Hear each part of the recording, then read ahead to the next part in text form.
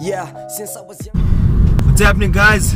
Um, yeah, I've been really busy with CCM PHL 18 and I haven't really had much time to, to play a bit of hockey myself. I'll meet up with a man we call N'Golo Kante and he's going to put me through my paces. PHL fans, you might know who he is. fell. Whoa, whoa. Now she really like my flow. So yeah, G-Star's going to be putting me through my paces and uh, yeah, two massive games coming up this week. Hey. Phone now, got her hanging up the phone now, phone now, but she put me on the speed dial. Yeah, but she put me on the replay day to day. I'm different.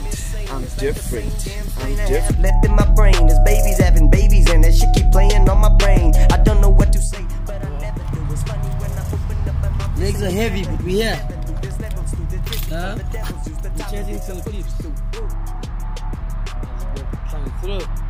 Yo, we're putting in work. Yeah. We're putting in work. And you sleeping. We're coming for you. Don't play yourself. Don't we play, coming don't, hey, don't play yourself. Hey, man. Don't do that thing. You know what? Just be great, man. Thanks, thanks. C'est tous c'est un tricheur N'Golo Kante N'Golo Kante Para parara N'Golo Kante La la la la up there, you know. Counter. Doing the things, eh? Up, down, up, down. You know. Back. Why is the voice sounding scruffy? Eh? Hey, those was the weekend things, you know.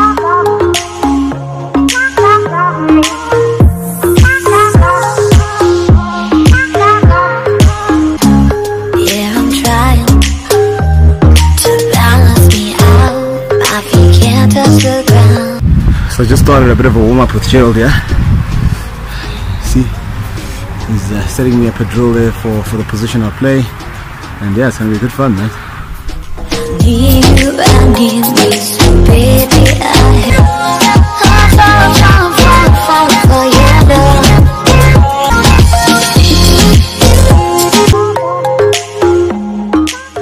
Check some. Alright, how's my audio? How, Audio testing. One, two, one, two, one, two, one, two. tough, tough, tough, boy. So listen, you obviously you've been playing in PHL. How have you found it? I found it quite interesting. Uh, In, in, in, in what way? Because a lot of people have been saying like it's different, but like how? the vibe, like, I guess it will be the people. Players are more open, more welcoming, and more relaxed, you know. Yeah, it's obviously you, you, a lot of the guys come from different parts of the world, of the country as well. Yeah. Yeah. So, like, Yeah. so like in our team vibe, we have an awesome team vibe. Like, Five years back, you wouldn't have even thought of a, a tournament of this nature Yeah, in no. hockey. Like, yeah, like not even, not even a sign of it. Yeah. You know, and I think it's been something that's it's like like you said, five years ago, I honestly had not thought anything about this.